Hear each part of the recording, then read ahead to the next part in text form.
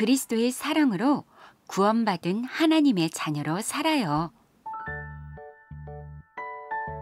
자기 땅에 오매 자기 백성이 영접하지 아니하였으나 영접하는 자 곧 그 이름을 믿는 자들에게는 하나님의 자녀가 되는 권세를 주셨으니 이는 혈통으로나 육정으로나 사람의 뜻으로 나지 아니하고 오직 하나님께로부터 난 자들이니라.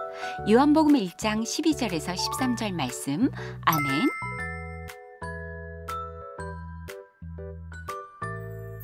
우리 예수사랑 교회 구루터기들은 십자가에서 내 모든 문제를 다 끝내신 예수 그리스도의 사랑으로 사단의 소나기에서 빠져나와 구원받은 하나님의 자녀들이에요. 그렇다면 마귀가 심어놓은 연약함과 틀린 생각으로 살지 말고 하나님이 주신 장점으로 살아야겠죠.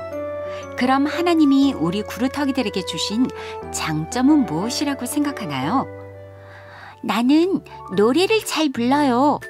나는 책 읽는 걸 좋아해요. 나는 형이랑 동생이랑 싸우지 않고 잘 놀아요. 나는 많은 친구들 앞에서 이야기하는 걸 좋아해요. 또는 이렇게 생각하는 그루터기들도 있겠네요. 음, 나는 잘하는 게 별로 없는데요. 나는 뭘 잘하는지 몰라요. 그런데 하나님이 주신 장점은 우리가 생각하는 것과는 아주 달라요. 다름 아닌 하나님의 자녀된 신분과 권세가 하나님이 주신 장점이죠. 매일매일 하나님의 자녀된 신분과 권세로 시작하면 어떤 환경에서도 두려워하거나 놀라지 않고 당당하게 일어나 도전하는 멋진 영적 서밋이 되는 거죠. 그래서 2022년도 올 한 해에도 내 마음에 품고 사랑하며 꼭 고백해야 하는 이름이 있어요. 예수는 그리스도, 우리는 하나님의 자녀, 모든 문제 끝, 마귀야, 가라, 성령, 충만, 세계, 복음화, 땅끝까지 증인 되리라.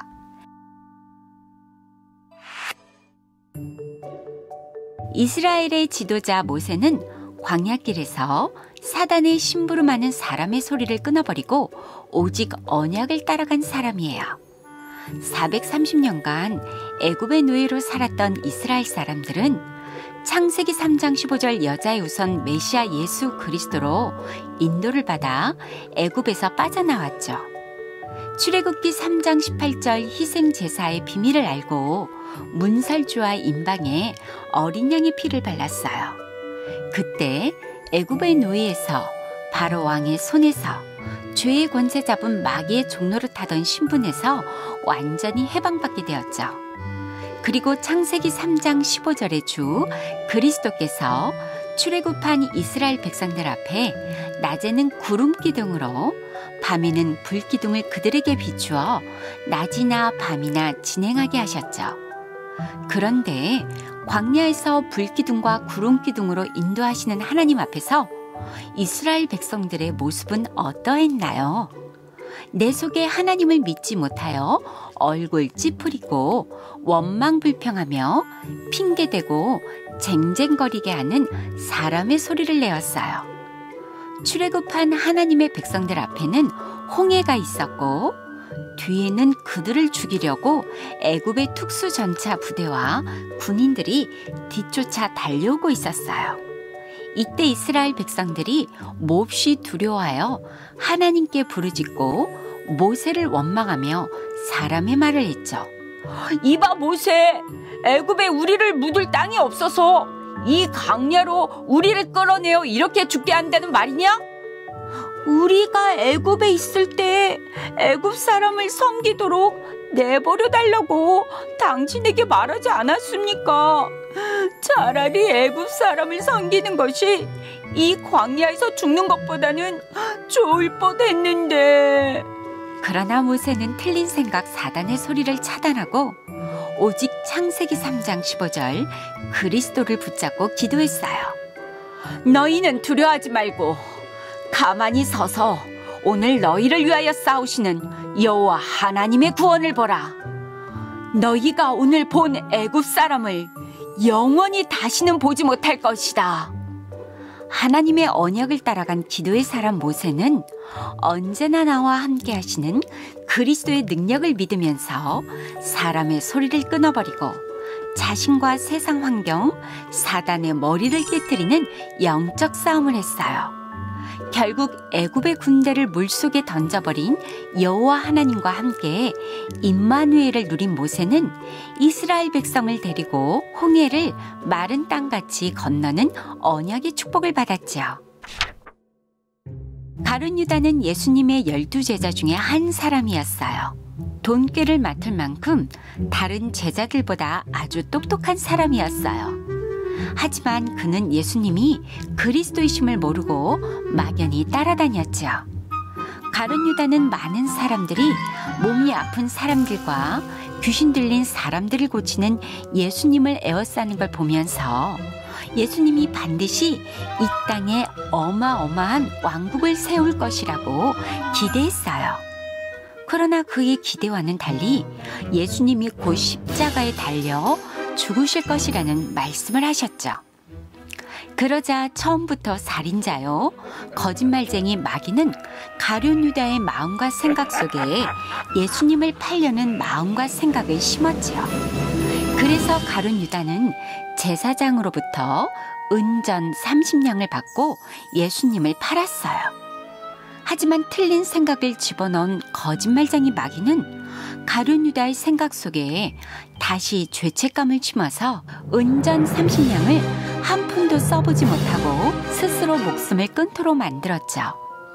이처럼 예수님이 누구신지도 모르고 마구잡이로 따라가면 죄의 권세, 사망 권세, 지옥 권세 잡은 사단의 올무에 묶여서 마귀의 심부름만 하다가 인생 결말이 이상해지거나 비참해질 수밖에 없어요.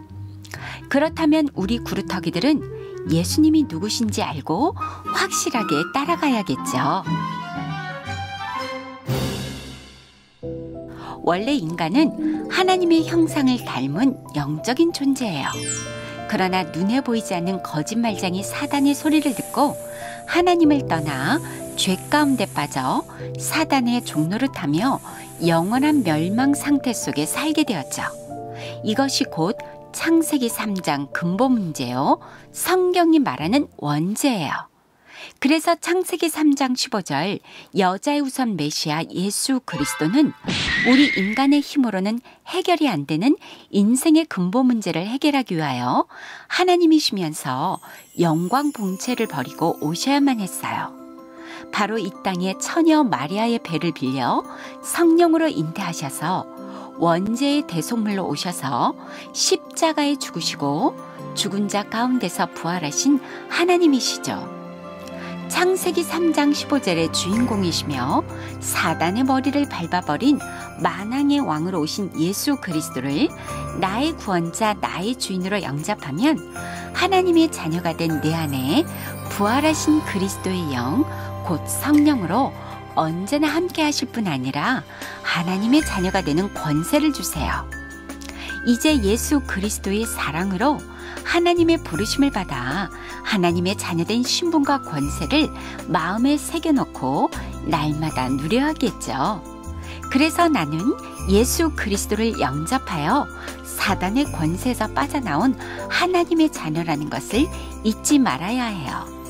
언제나 내 마음을 그리스도의 영, 성령이 함께 하시는 성전으로 만들어 더러운 귀신을 내어 쫓는 영적 싸움의 기도의 자리로 만들면 하나님의 나라가 임할 뿐 아니라 반드시 영혼이 강건해지고 마음과 몸이 튼튼해지는 치유의 역사가 일어나요.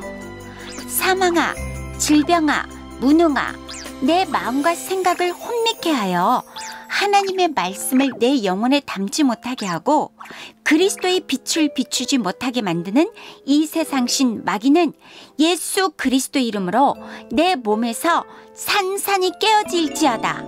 이렇게 내 몸에 만왕의 왕 그리스도의 권세로 더러운 귀신을 내어 쫓고 마귀의 일을 멸하며 참 제사장 그리스도의 이름으로 저주와 재앙을 밀어내고 참 선지자 그리스도의 이름으로 임마누엘 하나님을 누리는 영적 싸움이 우리 몸에 살아서 움직이면 매일 기쁘고 새털처럼 몸이 가벼워져요.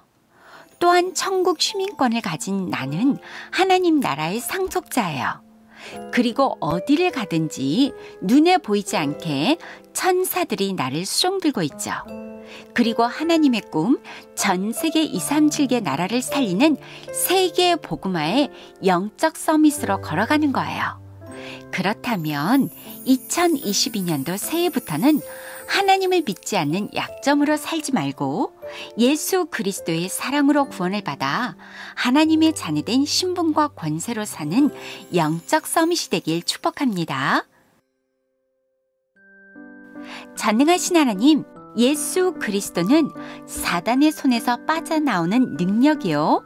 죄의 권세에 묶인 삼 저주에서 해방되는 이름이며 마귀의 노예에서 하나님의 자녀로 바뀌는 권세라는 것을 분명히 알고 예수 그리스도의 사랑으로 구원받은 하나님의 자녀된 신분과 권세를 누리며 살게 하시니 감사합니다. 이제는 핑계대고 징징거리는 말을 끊고 창세기 3장 15절 그리스도 이름으로 내 몸에 더러운 귀신을 내어 쫓는 영적 싸움하는 군사가 되어 세계 복음화를 이뤄가는 영적 서밋이 되게 해주세요. 예수 그리스도 이름으로 기도합니다. 아멘.